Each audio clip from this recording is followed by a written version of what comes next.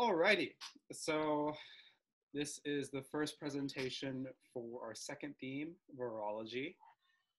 When I was thinking of kind of things to talk about, what immediately came to mind was some work that I originally did when I was at UNC. I was in the gene therapy center there for maybe less than a year. Um, honestly, I was not the most engaged in that research that I did there, unfortunately. I just was really busy with a lot of other stuff that was happening at the same time.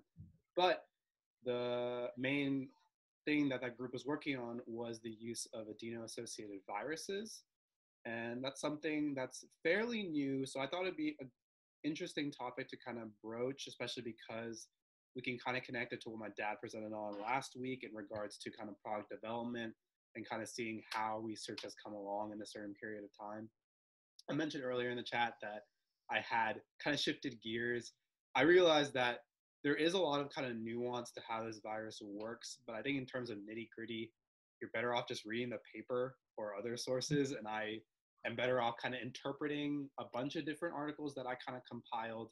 I uploaded the two that were most relevant, but there were just like maybe like 10 total that I kind of went through to kind of get a bigger scope of what adeno-associated virus therapy is looking like right now and from when it was first discovered. So without further ado, let's jump right in. So as per usual, I have my good old objective slide and an animated boy. Um, the main thing here that I wanted was to understand the general characteristics of adeno-associated viruses. Well, I'll just probably say AAV from now on, or AV.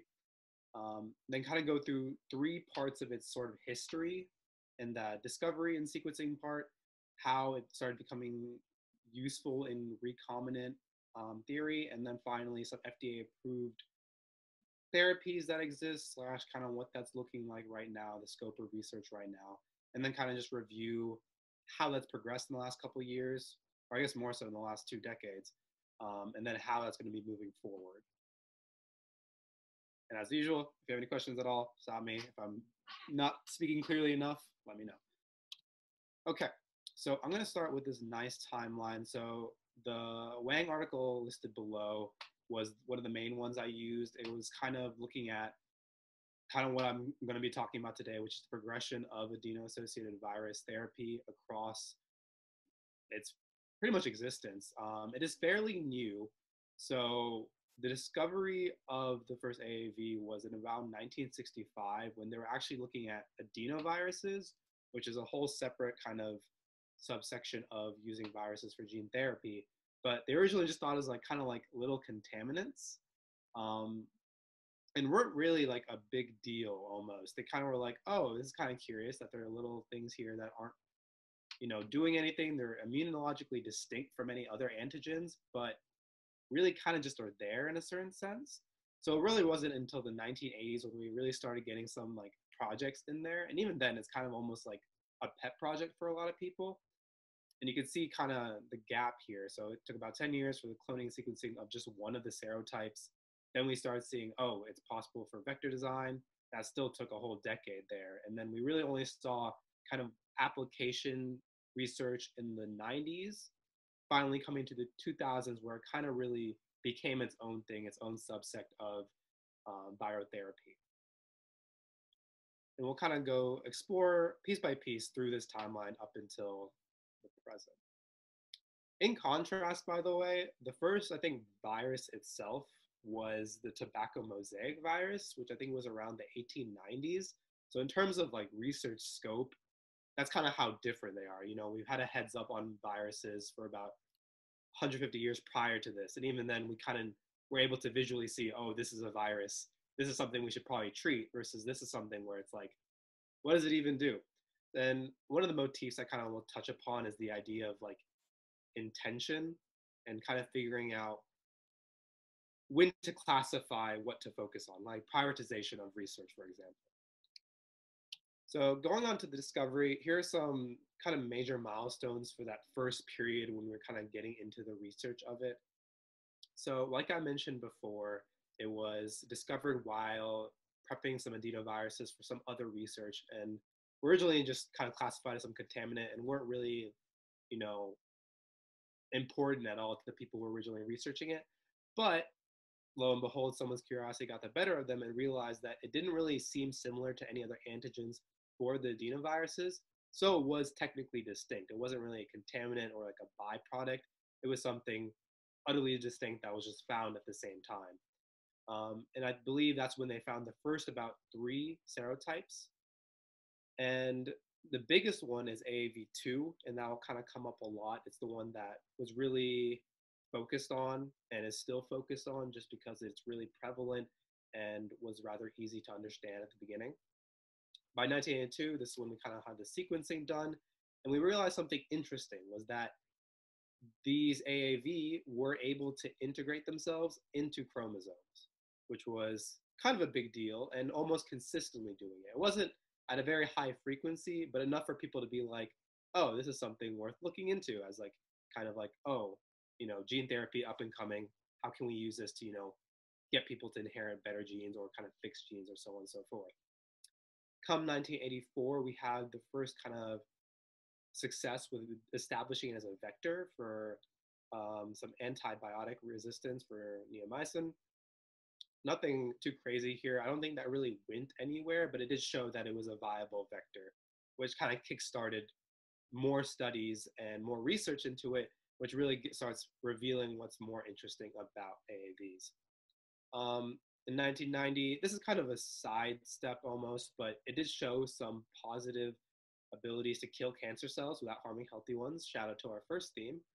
Um, but the main thing here was that the serotypes that they found, while they all consistently integrated in, into a, the same spot on the human chromosome, at chromosome 19, they also were able to impact a lot of different types of cells. So each serotype had a different set of, you know, receptors that allowed them to attach to different parts of cells. You know, some were related to hepatic cells, some were more closer attached to airway epithelial cells.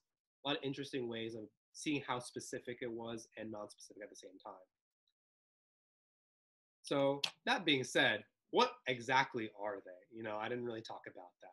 So at this point, we kind of had a better understanding of what they actually were, and that these are very small viruses with a capsid size of about 20 nanometers. In contrast, that usual typical phage that we see with the little pronged legs and the icosahedron head, that's about more closer to about 100, I think, nanometers, maybe 150 at most. Um, and in terms of kilobase pairs, these only had a linear single-stranded DNA genome of about five kilobase pairs. In contrast, usual phages. Like I think the one I'm thinking about is like the E. coli one, um, usually around 150. So these are very, very small. And the reason why they were found with the adenoviruses and why they're adeno-associated viruses is because they actually do not encode polymerases themselves. So they're kind of almost symbiotic, I guess more parasitic if anything, because they don't, they just kind of take. But they need helper viruses or other cellular stresses to actually do anything and to, you know, be a virus effectively. So otherwise, they're fairly benign. And that kind of, all the things I kind of listed so far kind of help me sum up why they're so important. Because they're so benign, they have a low immune system response. Because of that ability to stably integrate into that chromosome 19, even though it is a low frequency, it's still pretty impressive that it's so consistent. Um, and this is likely due to a very specific binding motif. And then again, with the different serotypes, you're able to infect a wide variety of cells pretty consistently. And finally, when it does get going, it's pretty high yield. Um, I think the numbers I have here are about 100K particles per cell. I couldn't really get a good understanding of what average numbers were for other viruses and things like that. Again, given that it's 20 nanometers small, it's pretty efficient. And it, within the body itself it is fairly prevalent. I think about 40 to 80 percent of people have i think immunity or serotype presence of some aav already. So kind of looking ahead what this is allowing us to do is really provide treatment for really specific um, inherited diseases things like cystic fibrosis hemophilia arthritis um, and it really stretches from inherited to non-inherited things from really, you know, pervasive systemic issues to more localized issues. There really is a lot of like flexibility here. And there are some weaknesses, but we will talk about them later. But I think some of the strengths are just like really wild. Some can pass through the blood brain barrier, some can impact stem cells. Most, I think there's none that actually cause any human diseases as we know it. So there really is just a lot of positives right off the bat. So here's the general transduction mechanism for how they're taken in to their host. So there's a lot kind of happening here, but the main things that really differentiate it from other cells kind of happen more so within the nucleus. Otherwise, pretty simple. You have your receptors, some conformational changes depending on pH. Eventually, the AAV itself is released um, extrachromosally. Sometimes it is broken down by proteasomes into peptides, but a lot of times it's able to actually enter in through the nuclear pore complex and then kind of do its thing. Two big versions of AAVs that exist right now, and this kind of will come back when we talk about manufacturing them, are single stranded AAVs and then uh, self complementary AAVs.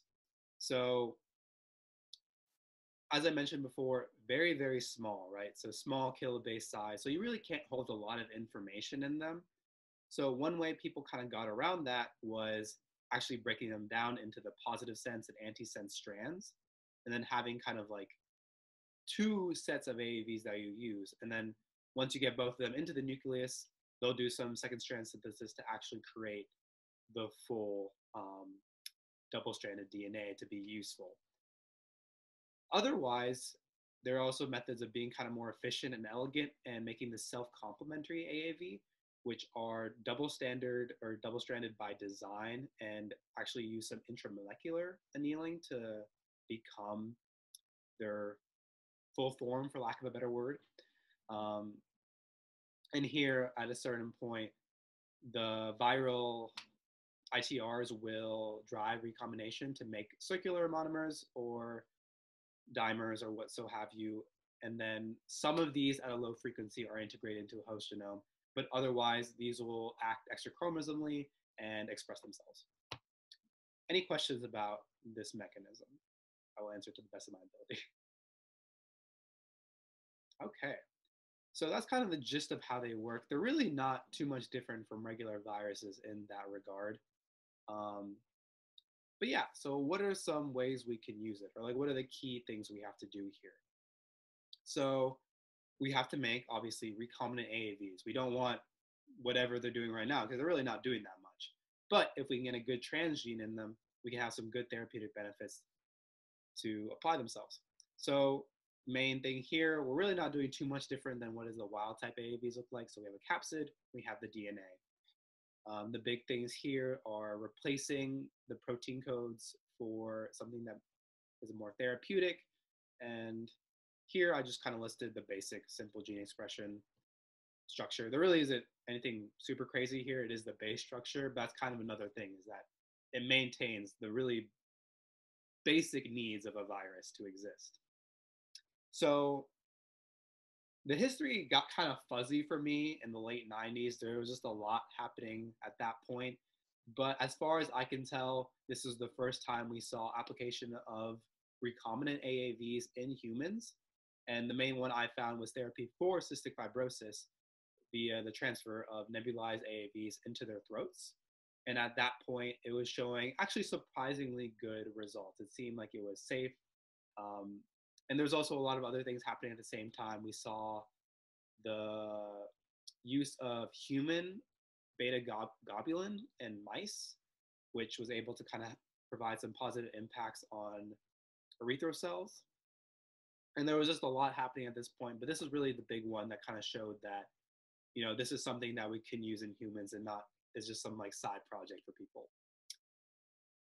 We'll kind of come back to this. This kind of becomes historic in other senses when we kind of come back and look review what studies look like at that point because obviously things like you know guidelines for gene therapy have changed a lot since the 90s and that will come up later but i just wanted to put that up now because there are some issues that this wasn't perfect basically.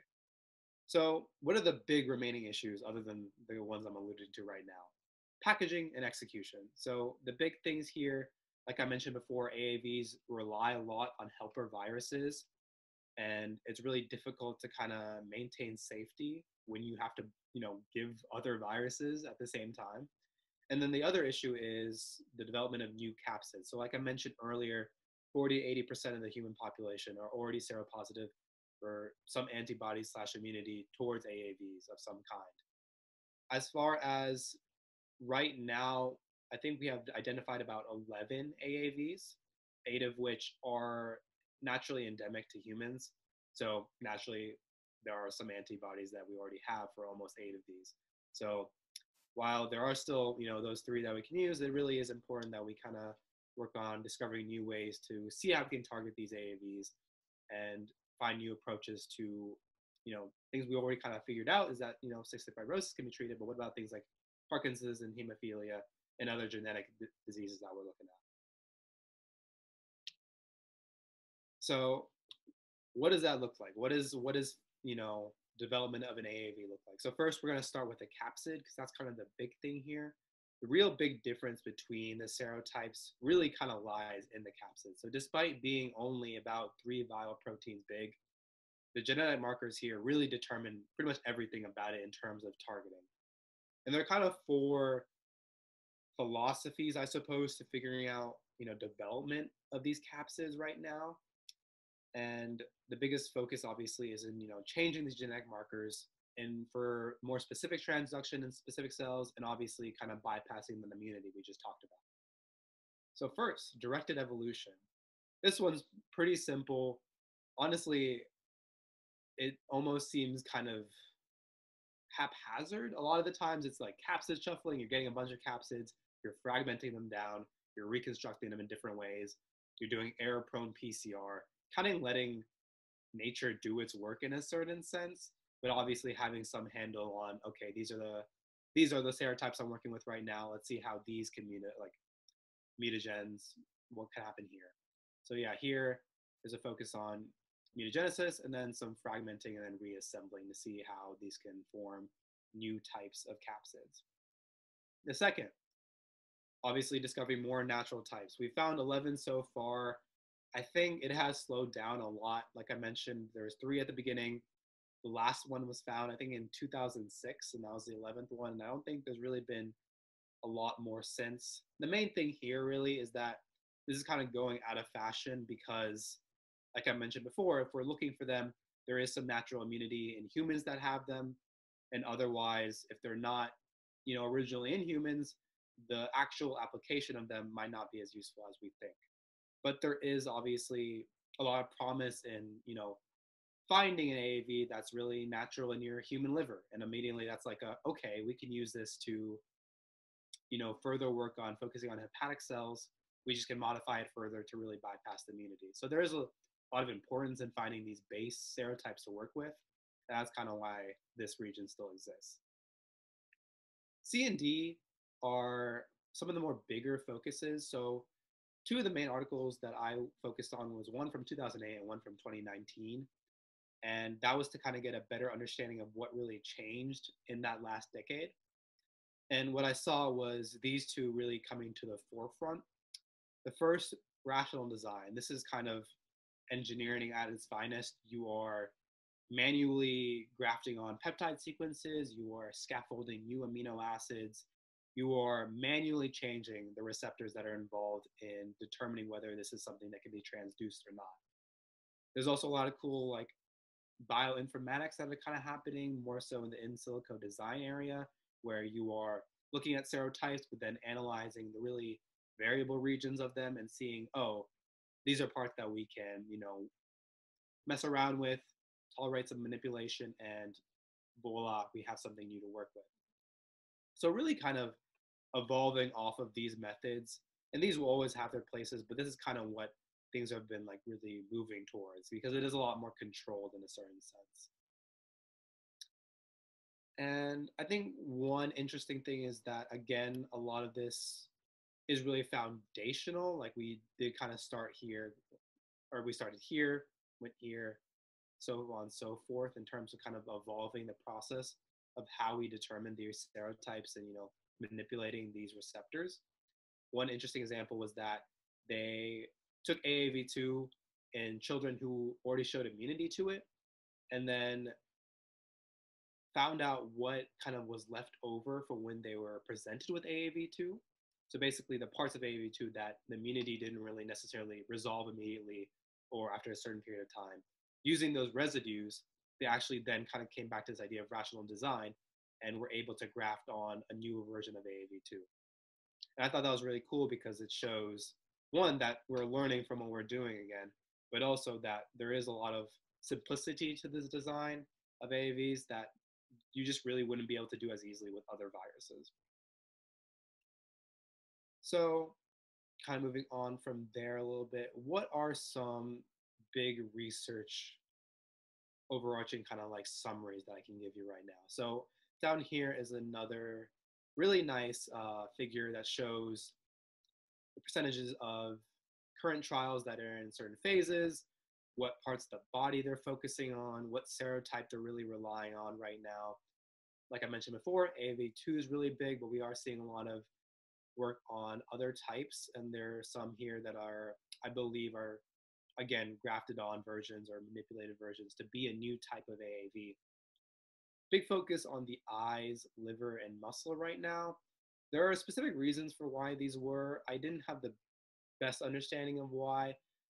My understanding so far is that AAV2 on its own has specific parts of the body that it really does focus on immediately.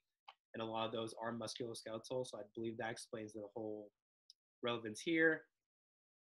As far as the eyes and livers, the livers are interesting in that they have just so much blood flow that they kind of encourage a lot of AAV production once you do get it in there.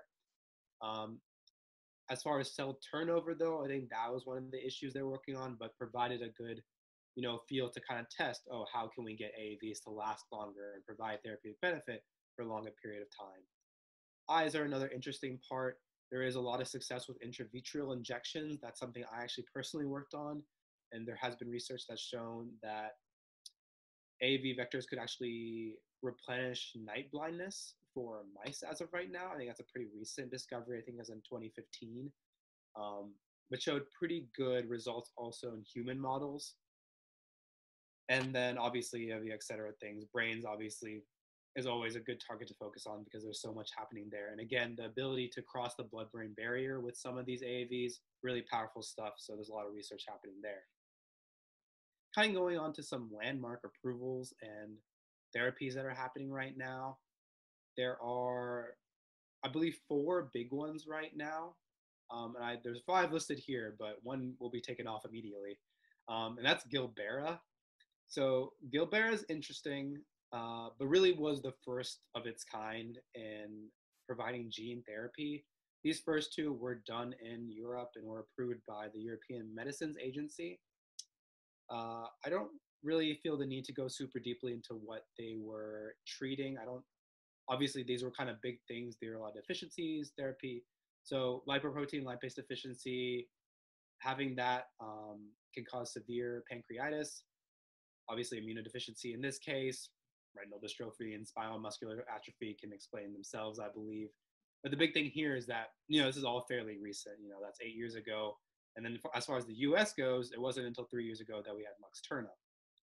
So, kind of coming back to what's happening right now is that we're finally seeing like the fruit of what was done in the 90s of you know finally doing tests in humans seeing okay these are things that we can do let's start some trials and then finally those trials are finally showing fruit now the main thing here is that you know gene therapy is again kind of scary in a certain sense. There's a lot to work with.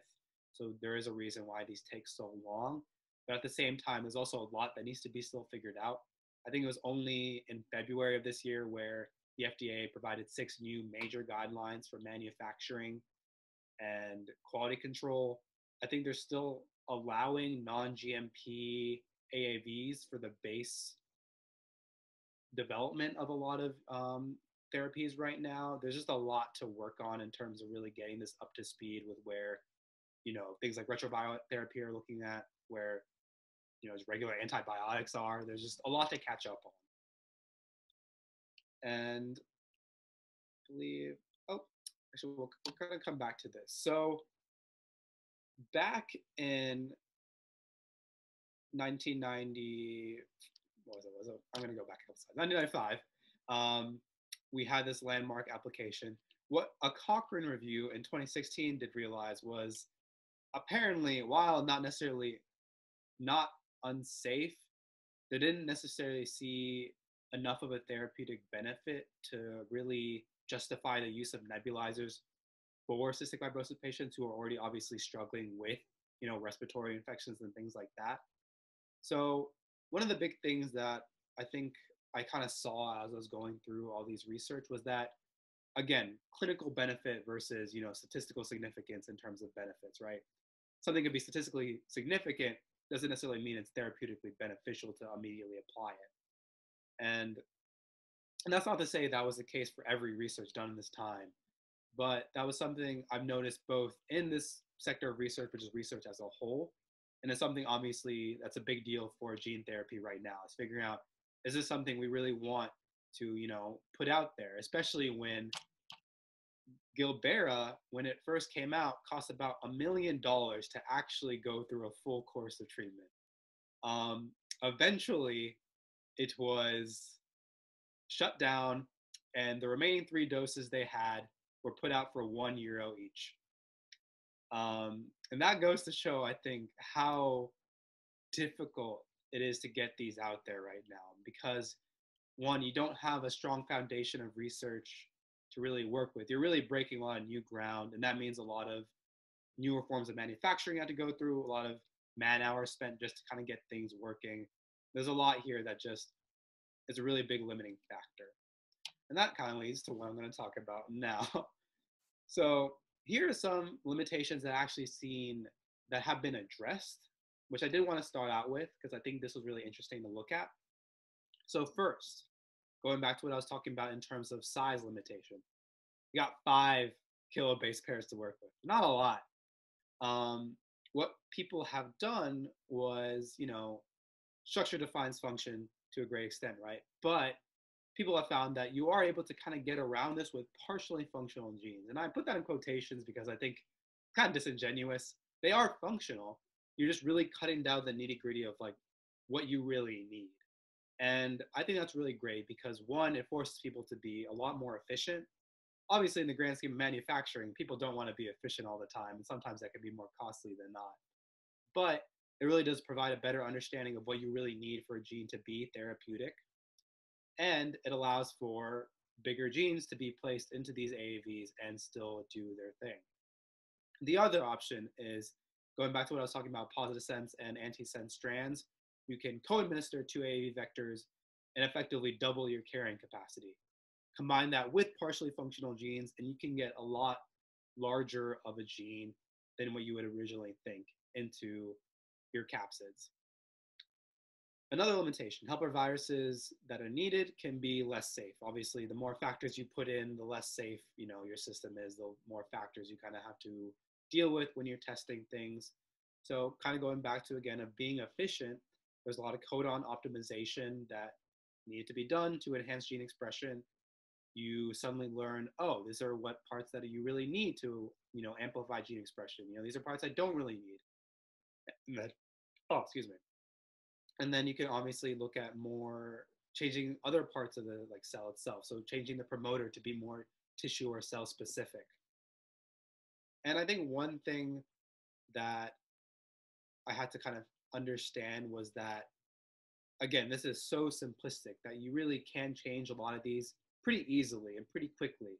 So being efficient or learning to be efficient in these small scale experiments really can be extrapolated pretty well to larger scale too once you get down to it because you just you know start small work it up then finally they the limiting factor of what i mentioned earlier they do integrate into host chromosomes but at a very low frequency and because it's such a low frequency slash it's not necessarily a reliable integration especially once you start modifying the gene expression itself a lot of times they'll actually remove the genes and parts that would allow it to integrate into the chromosome, even though it is a powerful ability, allowing it to do partially or at such a small amount can be kind of unsafe, like unsafe.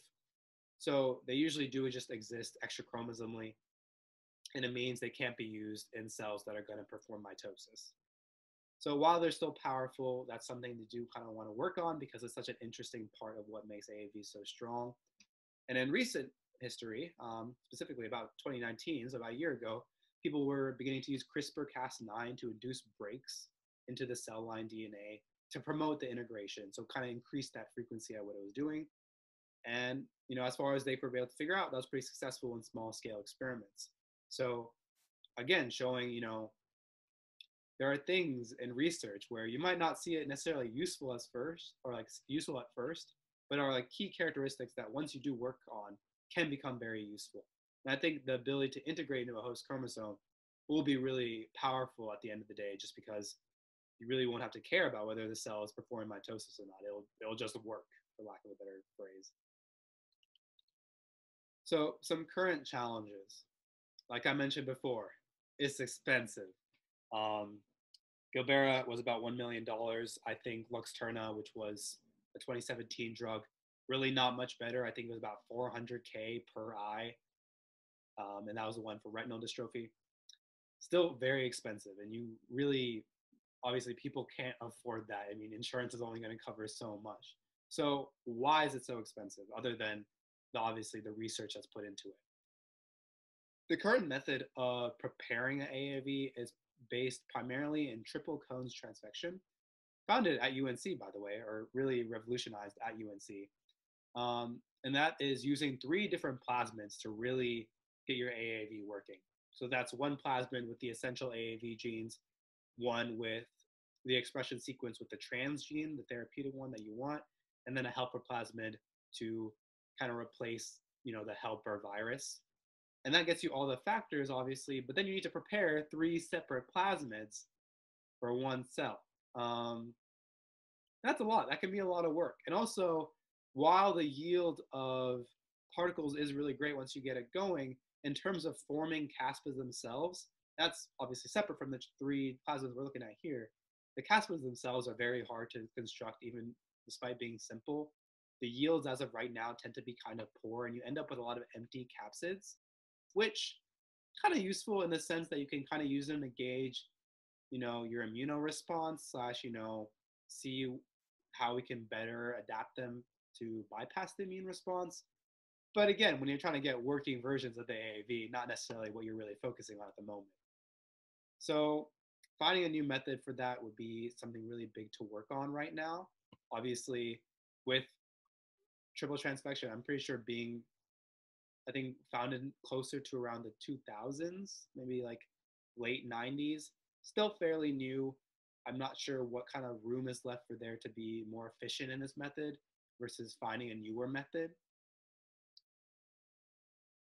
Yeah, that's a that's a big question mark for me. I don't know, and I think that's something really interesting to look at is that you're always going to see, you know, things you can improve on, but in this case, it's like how much more can we improve without you know, going to a completely new method. At this point, quality control is also pretty poor. I put FDA as mixed signals here, and I think that's because, like I mentioned before, they allow non-GMP um, plasmids for the base AAV, but they'll also put you on hold for months at a time if they see any small fragments of, you know, DNA fragments in a random trial you do and that stranglehold slash these mixed signals can make it kind of difficult at times because obviously you never want to be on hold that this takes time it's hard to kind of figure out what goes wrong sometimes. And i think these new guidelines that they're putting out are going to help a lot but again that was just this year so it's going to be a while before we get a really smooth manufacturing process for a lot of these aavs we also need to do a lot of robust testing. I don't think i really need to say much more about gene therapy, there's a lot happening here. Despite how simple these viruses are, the immune system and someone's genes are really complicated. So it is important that you know you see the importance of sex, you find out the therapeutic windows, you get your effective doses, figure out whether you know your AAV really as specific as you think it is. Is it really is it you know sticking to those hepatic cells you want to, or is it you know going a little bit further out somewhere else? That's something to be worried about. Then finally, despite all the things I've talked about getting bypassed, you know, bypassing these immunological barriers, that's still an issue. Um, mainly because we know what we have found so far are AAVs that are naturally inherent to humans.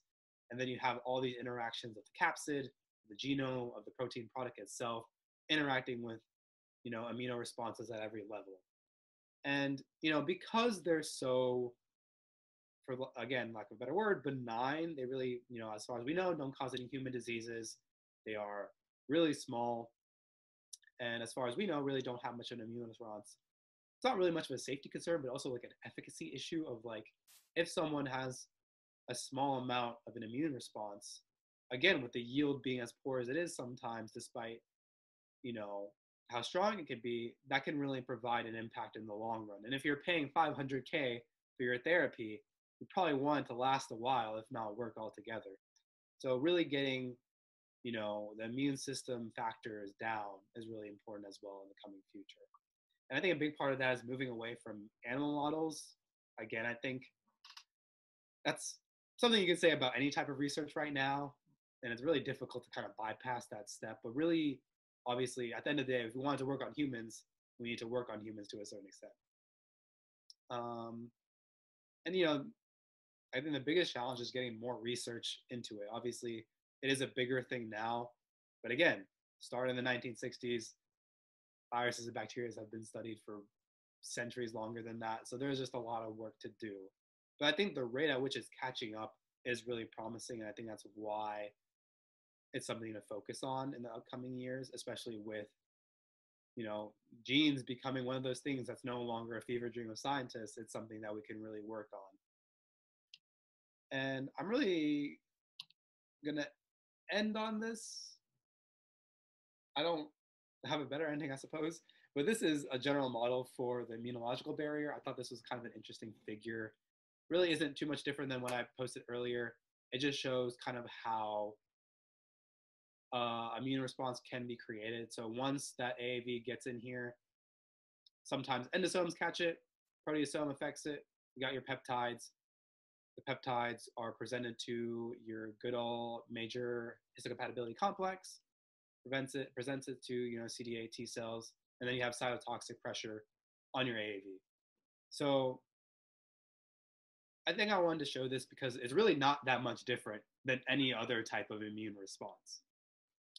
So because of that, you have to be careful again with the immune response just because again because it's so small and because you need to really follow a very certain specific set of steps to get it to start showing a therapeutic benefit.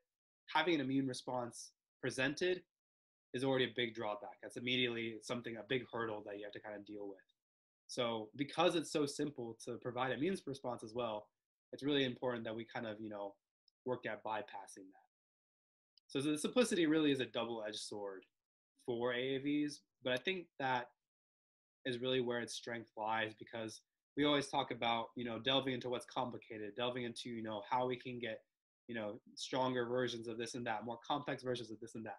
But i think going back to basics here is really important and i think it'll show a lot of you know improvements in other sectors as well like i mentioned before you know showing really strong improvements in codon optimization you know what your how long your gene has to be for therapeutic benefit there's a lot here that will improve not just viral therapy, but kind of just understanding viruses in general. And yeah, I think it's really interesting to see how that kind of all comes together. And yeah, that was pretty much it. I think I ran a little shorter than I thought I was going to, but there we go. Thank you so much for listening.